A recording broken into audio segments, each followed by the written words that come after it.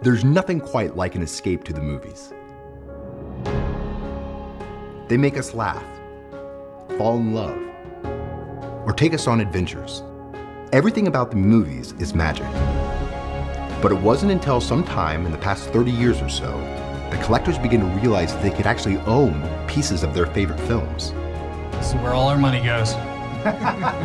Whether it's a prop held by Harrison Ford that's pivotal to an adventurous scene, or a classic MacGuffin we never truly understand. Yeah, yeah, we have. Owning props has become a very big business in the collecting world.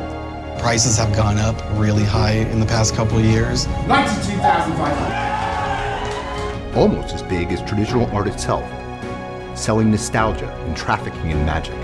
They're revisiting a moment in time that they had perhaps when they went to the cinema and watched Superman when they were young kids.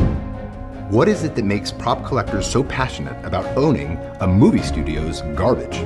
I took the original glove. I just threw it in my bag, took it. That is what I intend to find out. This is a real original Gremlin? Yeah, yeah. Oh, no way. Everything that I love, it's all in one thing. That one is you can see also in the shoulder tubes, the, the shininess on it. That's actually dried slime. I think in general film is art, and this is a piece of film, so yeah. Yeah, this is the size of a car.